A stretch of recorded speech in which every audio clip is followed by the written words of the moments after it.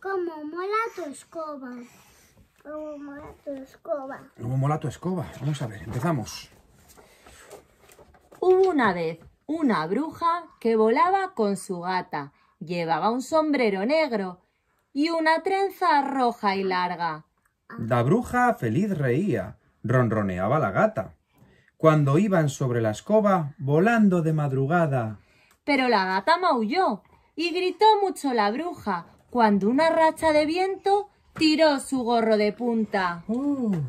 Ay, que- Un día, una mosquita se fue de paseo por el bosque y se encontró algo eh, un- eh, puntiagudo y cortito y brillante. Y la mosca se encontró con un león, era la uña del león. ¡Ve! ¡Quita, mosca!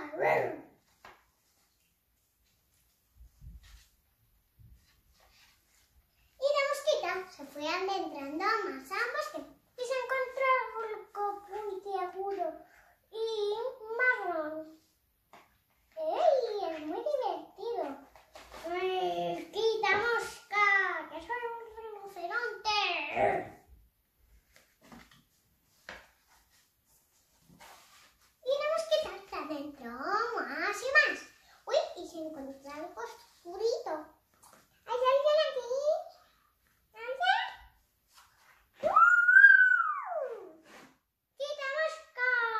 Bueno, se habrá ido, dijo Pollo. Se habrá ido, dijo Pollo.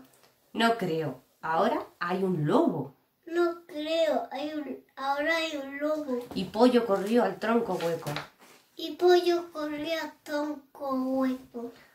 Pobre gato, se lo habrá comido el lobo, dijo Erizo. Pobre gato, se la habrá comido el gato. Bueno, ¿él se había comido el ratón? Le recordó Pollo. Él se había comido el ratón. Pobre ratón, dijo Erizo. Pobre ratón, dijo Lito. Y los dos agacharon la cabeza. Y los dos agacharon la cabeza. Pollo miró al cielo a través de un agujero del tronco. Pollo miró el cielo a través del hueco del tronco. Erizo, el lobo se ha ido. Erizo, el lobo se ha ido. Este levantó la vista y vio un león en el cielo.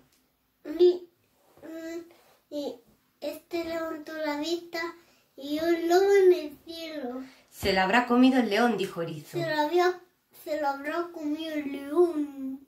Van hacia Marina hacia su prima y su prima estaba haciendo vida de piernas.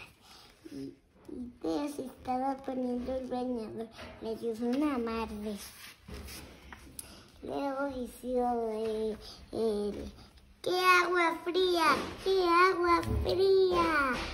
Y entonces entró, la, le entró agua en la nariz. Y luego su profesor, que estaba, en, estaba nadando en una mesita, pero luego estaban platicando. Luego se fueron al agua patos. Y ahora se quitó los gordos. Estaban. No tengo. Había un pececito, te tenía.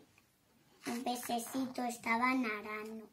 Y el pececito azul le dijo que si le dio una escama. Y, y ella no le habló y estaba nadando. Y le dijo una escama, pero tampoco le habló. No. Y estaba muy triste el toro. Así le dijo. ¿Pero por qué quería una escama del pez arcoíris? ¿Por qué? ¿Por qué? ¿Por qué? Porque tenía por pantir. ¿Pero por qué quería una escama? ¿Porque eran muy bonitas? Eh, sí, Ah, porque estaba... vale. Y luego le llamó a la estrellita, debería ser.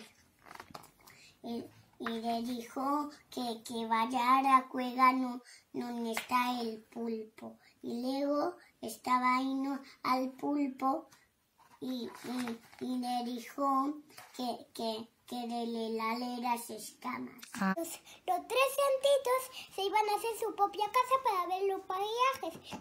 Le dijo la madre, adiós, adiós. Y se fue por una montaña. Luego el lobo les estaba espiando. Fue por todo el camino. Y luego al pequeño le quedaba muy poquito y él la terminó. Al mayor mucho. Y a él y al madera mucho, mucho, mucho. Y, al lo- y luego llegó el lobo y, destruy- y sopló y sopló que destruyó la casa de paja. Luego vino el lobo y sopló y sopló que la destruyó. Y luego, por Dios, quería de- destrozar la casa de ladrillo, pero no pudo. Y luego el lobo se metió dentro de la cantera de juego.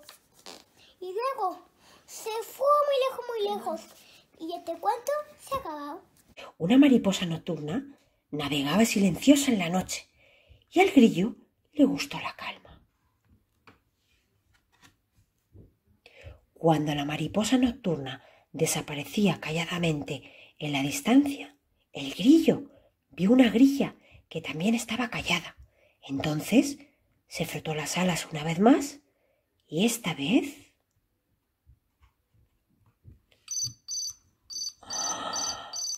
cantó la más bonita canción que ella había oído jamás.